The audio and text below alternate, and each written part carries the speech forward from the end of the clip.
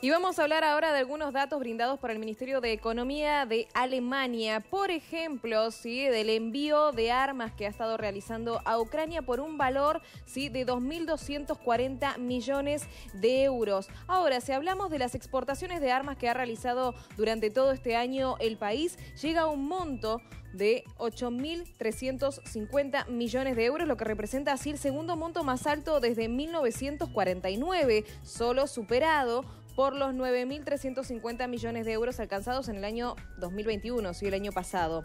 Más de una cuarta parte de las armas exportadas fueron a Ucrania, según las cifras del gobierno. Las ventas de armas al extranjero, incluso este, presidiendo del efecto especial que tiene la guerra de Ucrania, han sido especialmente altas en lo que va del año. Eso se ve si se considera que durante los 16 años del gobierno de Angela Merkel, solo en cinco ocasiones se superó la marca de los 6 mil millones de euros. Tradicionalmente Alemania ha tenido una política de exportación de armas restrictiva, en la que se tiene como principio no enviar material bélico a zonas de conflicto, salvo circunstancias especiales.